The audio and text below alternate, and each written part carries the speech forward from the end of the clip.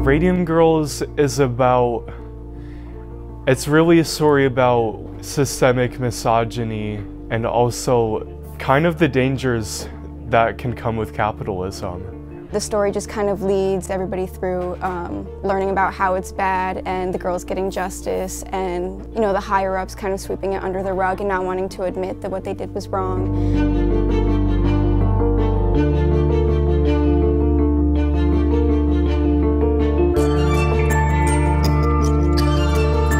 We've worked so hard throughout the course of this show.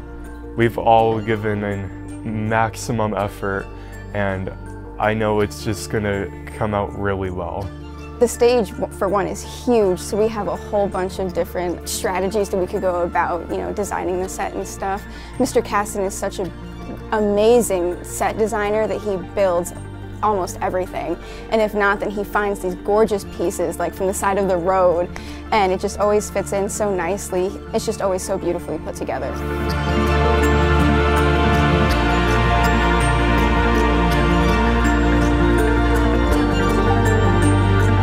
We get to connect with our characters once we get them and find things out about ourselves and our cast members and we get to incorporate that um, in our real lives and we learn real lessons through each other and through the show. I just feel proud. It gives me so much happiness to perform in front of people and this stage just means a lot to me. I just hope you guys enjoy the show and it's a good time for you guys as it is for us.